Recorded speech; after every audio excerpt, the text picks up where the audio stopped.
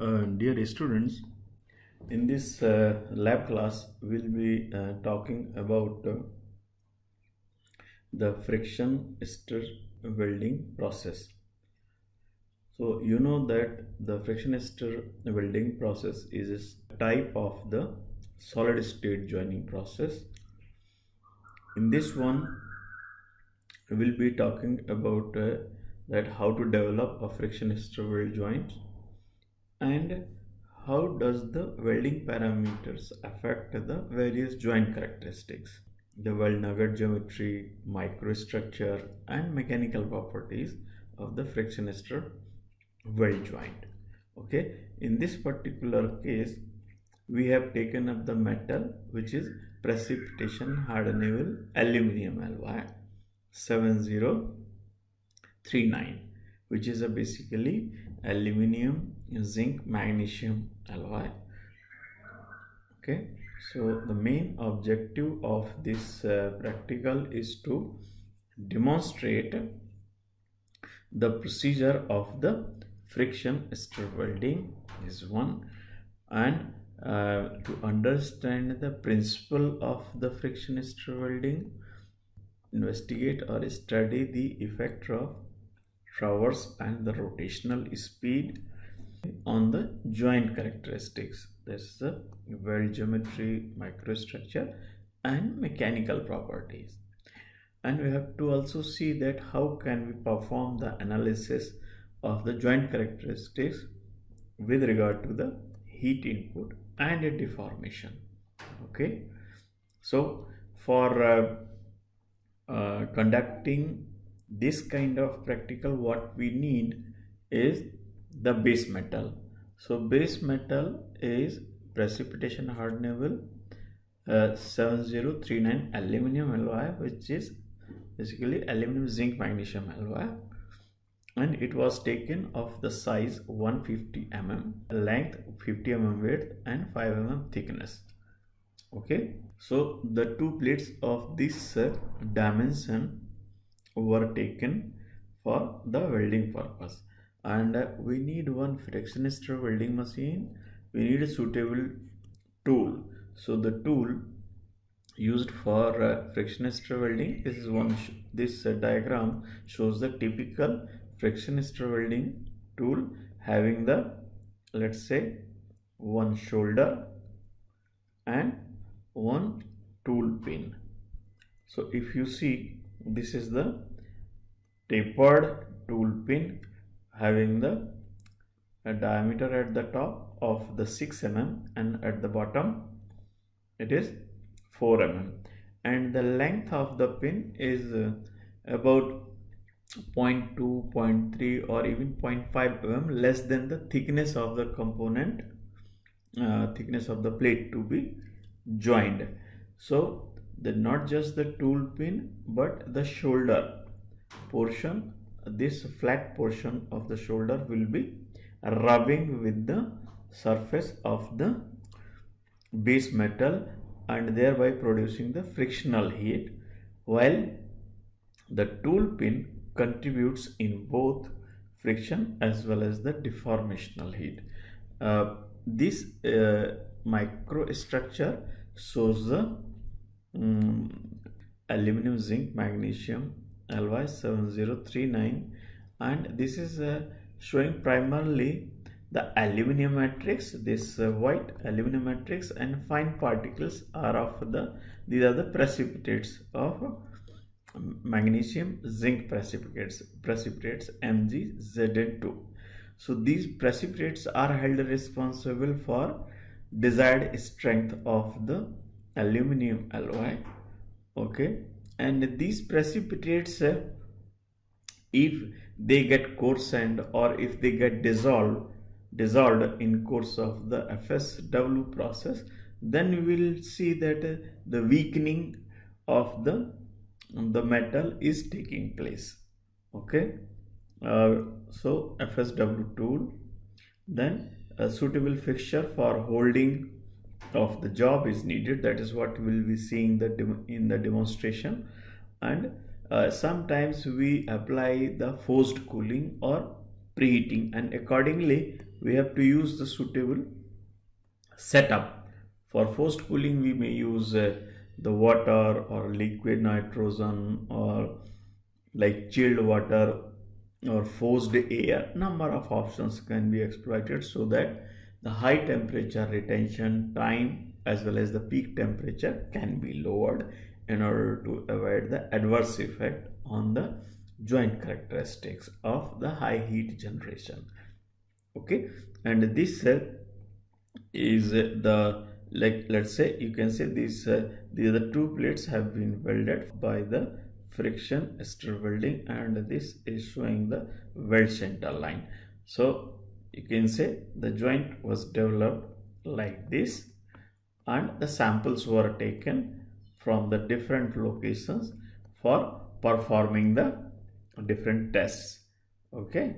So here if we see now uh, the the cross section this particular section shows the schematic of the transverse section of the weld transverse section of the weld joint is obtained by cutting the sample from any location like this. So you will be getting the um, all the zones base metal heat affected zone weld zone and again um, HZ and the base metal.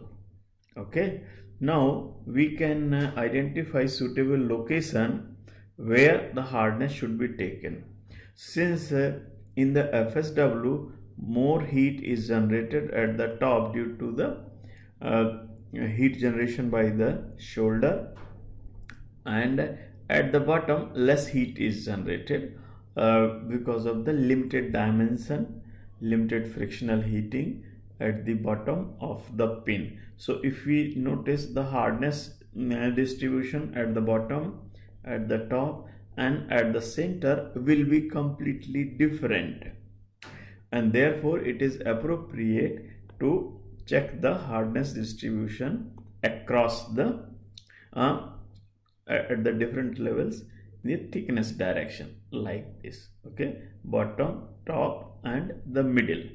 So the different uh, hardness is measured at different points uh, from one side to another.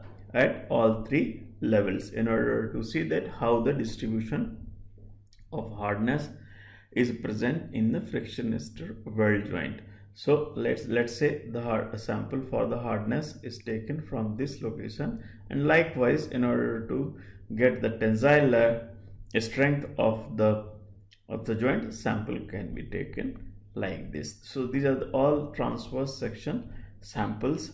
This is for tensile and this is for the hardness. And these also can be used for the microstructural studies. So now we will uh, be showing the different uh, videos um, showing the uh, demonstration of the friction stir welding.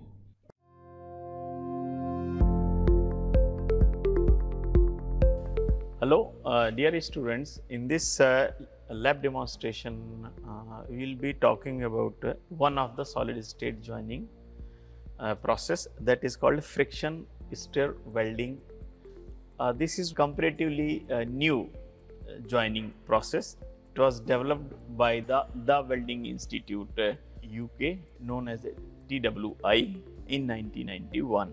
So, this process is based on the simple uh, principle of uh, developing the frictional heat to soften the metal and then facilitating the plastic deformation through the controlled application of the force in order to get the metallurgical continuity. So, in this process the metal is first uh, heated uh, through the frictional heating as well as the deformational heat and that is realized with the help of one tool. So this is one tool which is the most important component helps in development of the weld joint. So the tool uh, is rotated. The tool is having the two components. One is this pin that is probe, tool probe and pin both are the same word. Terms used to describe the tool pin and then there is a shoulder. Shoulder also uh, helps in generating the heat as well as proper forging action of the uh, metal during the friction stir welding. So here the tool primarily does the frictional heating, deformational heat as well as transport of the metal from one side to another which in turn helps in development of the metallurgical joints. Since the deformation is uh, involved, so in definitely there is a work hardening, grain refinement, dynamic recrystallization. So here since the, the frictional heat is to be generated, so a rotating tool having the pin is first inserted uh, or you can say the plunged in the workpiece at particular point and then tool is rotated continue to rotate at that particular location so that enough heat is generated. And once we find that enough heat has been generated to facilitate uh, the plastic deformation to cause the thermal softening of the metal, uh, the linear movement is given to the uh, workpiece because the tool remains fixed at a particular location and the entire table on which the workpiece has been fixed is moved. So, since a lot of forces are involved in this process, uh, so it is very important that the workpiece is uh, held very firmly in a fixture. So, there a systematic procedure and uh, the proper holding of the job for fixing the workpiece is very crucial for developing the sound weld joint to avoid any kind of the movement uh, to the workpiece uh, components during the welding. Okay, so there are uh, few parameters uh, which are important and those parameters related with the friction stir welding which will be affecting the soundness and the properties of the friction stir weld joint. It includes uh, like the rotational speed and the tool design uh, which includes the shoulder as well as the pin design, uh, their diameter and length because these will be affecting the frictional heat. At the same time, uh, the, the speed at which the tool is being rotated also affects the deformational heat, the heat being generated due to the deformation of the metal. So, whenever the heat is generated, uh, it will be uh, obviously dissipated underlying base metal as per the thermal conductivity. And when the workpiece is moved at a certain speed, this is the longitudinal direction. Uh, usually in the welding it is given automatically uh, so that you know at what rate your workpiece is moved with respect to the tools. That is what we call as a translational speed, speed at which the workpiece is moved and that determines the rate at which the heat is being supplied for welding during the welding due to the friction and deformational heats. Okay. So, uh, the first the tool is plunged then it is rotated at a particular point and then the workpiece is moved with respect to the uh, to, for a given tool position so that the entire weld length is covered for development of the joint this is uh, once the joint is completed then the tool is taken off by moving the workpiece away uh, from the tool because the position of the tool by and large remains fixed while the movement is primarily given to the workpiece. So, now uh, we will be showing uh, the step by step procedure for developing a weld joint starting from the fixing the workpiece um, on the table which is very crucial to retain the plates in position and thereafter uh, the plunging and translational aspects related with the uh, friction stir welding. This is how we uh, can fix up the workpiece uh, using the suitable fixtures. The fixtures design can change significantly as per the need that is the length and width and uh, the kind of uh, the holding forces which are needed in order to ensure the proper positioning of the plates. So, basically this is a and uh, the job is fixed in such a way that uh, it is in line uh, the weld center line is uh, is aligned with the axis of the tool rotation. so that the translational movement gives us the weld along the line where the joint is to be made.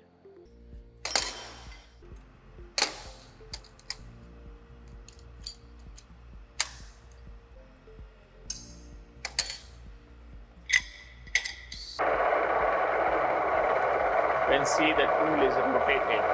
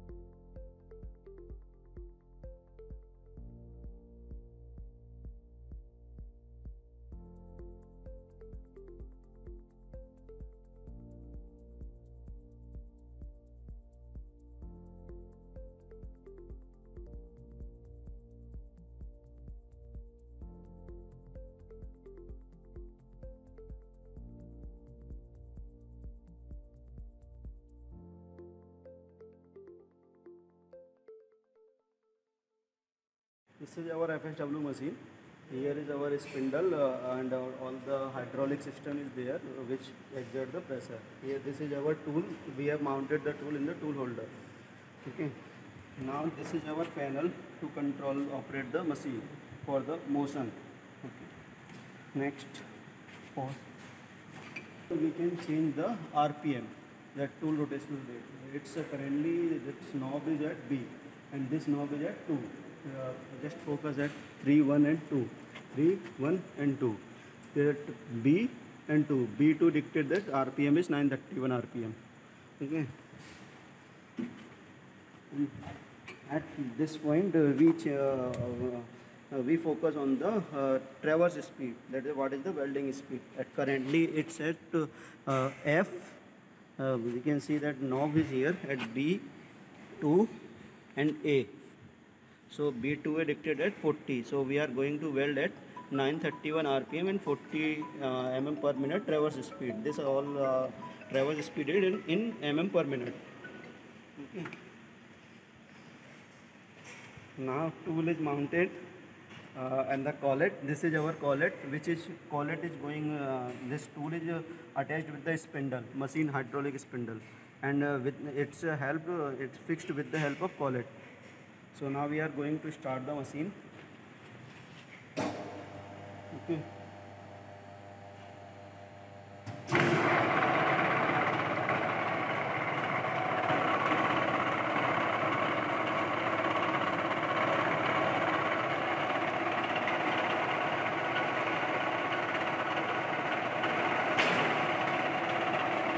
Now this RPM, uh, the tool rotational RPM is 931 RPM that we define from our uh, knob.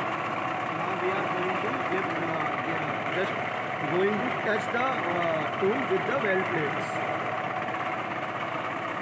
But we have already fixed the plate with the help of nut and screw and this is our table on, which to, uh, plate is fixed.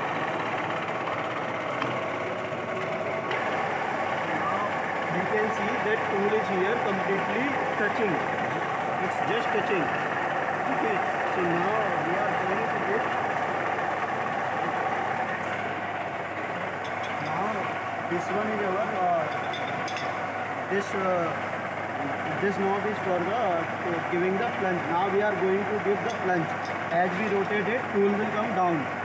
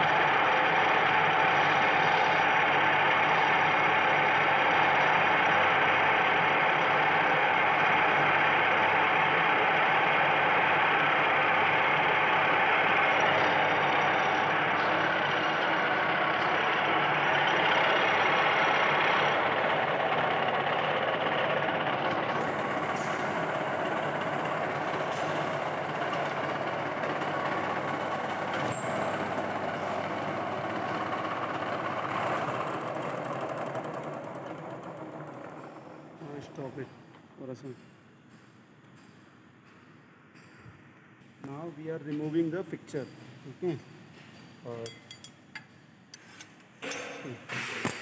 this is our backing plate on which we have mounted the table. This is our welded joint.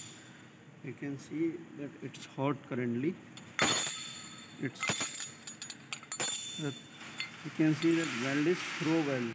I will talk about the effect of the welding parameters on the weld nugget geometry, uh, microstructural characteristics and mechanical properties of the FSW joints.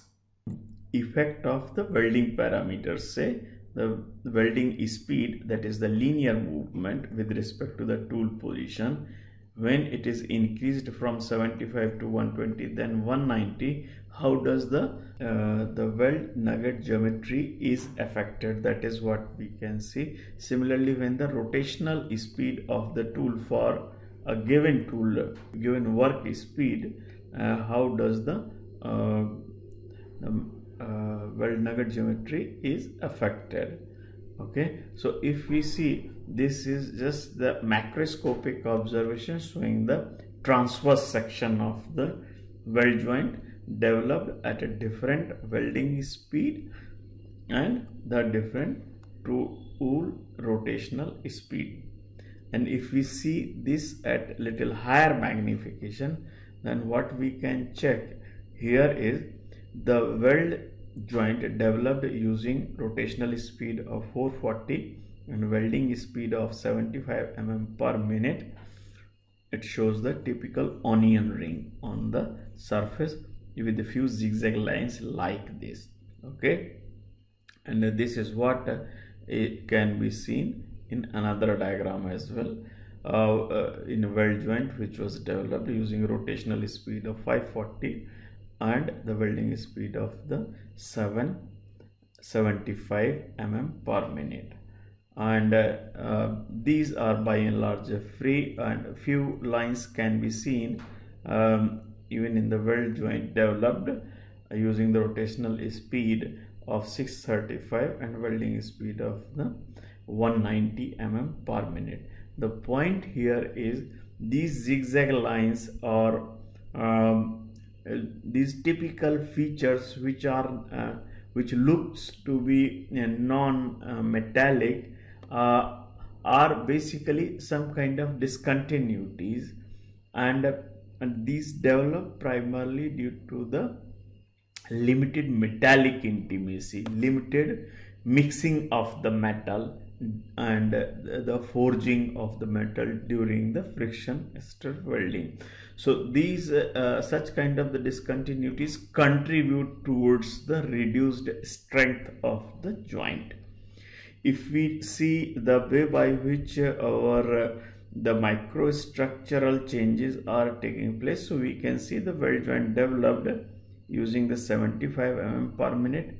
This is so speed is low. The grains are little coarser and uh, when the speed is increased grains tend to be finer. This is what in general is observed due to the uh, reduced heat input. And uh, then uh, the C uh, sorry D E F these three diagrams shows the weld joints developed corresponding to the increasing tool rotational speeds. So the point here is the, the friction stir weld joints are developed using different set of the parameters that will be affecting the friction and the deformational heat being generated and which in turn will have the different uh, metallurgical changes in the weld joint both in the weld nugget as well as the heat affected zone areas. And these changes are expected to affect the joint performance. So if we see the joint performance in terms of the mechanical properties so there are three um, types of the observations. One is the hardness distribution across the weld nugget. So uh, retreating side and advancing side of the weld joint. Since the more heat is generated um, in the advancing side so we will find that the hardness minimum hardness zone are there in the HZ as well as in the weld nugget side. Uh, basically the typical W shape of the hardness distribution. So which is indicating basically uh, that uh, the base metal hardness is more on both the sides than in HZ hardness is minimum. And sometimes this minimum hardness zone is also there in the weld nugget. Okay? So uh, these minimum hardness zones will be dictating the location where from fracture of the weld joints will be taking place during the tensile test. Okay. So so this is showing the uh, effect of the welding speed. So when you have you weld at a low speed more heat is delivered and that is why you get the minimum hardness uh, in this case uh, when the welding speed is 75 uh, for the others. Likewise increasing the rotational speed. When the rotational speed is more more heat is generated so you get the minimum hardness again in the advancing side in the heat affected zone. So this is what we can see. The, the hardness in the weld nugget is in this band while hardness on the HZ side it retreating side is not much adversely affected but more adverse effect of the reduction in hardness due to the coarsening and reversion is primarily observed in the advancing side in precipitation hardenable aluminum alloys. And uh, this diagram shows the effect of these uh, the rotational speed as well as uh, the translational speed or the traverse speed on the the joint characteristics. So if you see the uh, the base metal is having the the joint strength of around say 430 mpa. On the other hand elongation is around 16 but when a weld joint is developed then you find increased joint ductility but somewhat marginally reduced strength. So this reduced strength indicates that the joint efficiency is lesser uh, than the 100% maybe. So that is what we can obtain. Say it is 350 so 350 joint strength divided by the base metal strength say which is uh, 430 or so. So this will be giving us the the joint efficiency multiplied by 100 will give us the joint efficiency okay?